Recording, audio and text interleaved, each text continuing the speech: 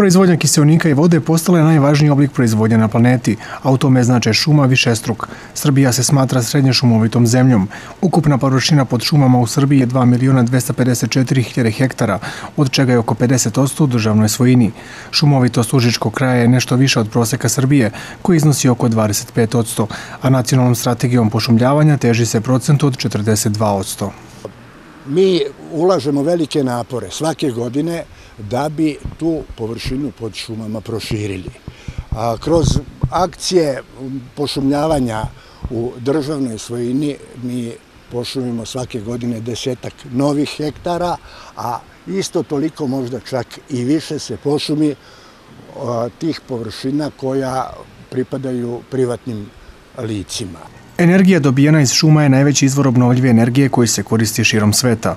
Od velikog značaja za opstanak šuma je njeno prirodno podmlađivanje u planinama i na rubovima šuma.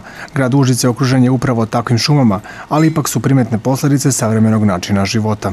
Kad se kaže veliki broj stanovnika na jedinici površine, onda to podrazumeva masu komunalnih problema, veliki broj automobila, e, ogromna količina izduvnih gasova, kada se radi o olovu, kadmijumu, cinku, ovaj, to su sve ti nekakvi produkti savremenog doba i preterane urbanizacije koja uništava prostor u kome mi ovdje živimo. Šume su najčešće ugrožene tokom sušnih godina, kada im prete razne vrste bolesti, ali od požara čiji su uzročnici najčešće ljudi.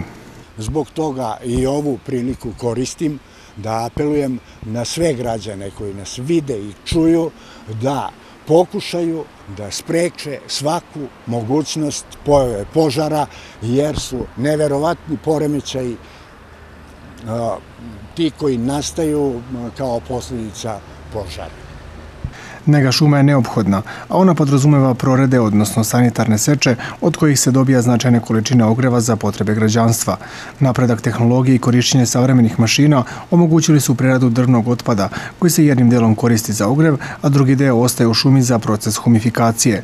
Na taj način postiže se efikasno korišćenje obnovljivih izvora energije.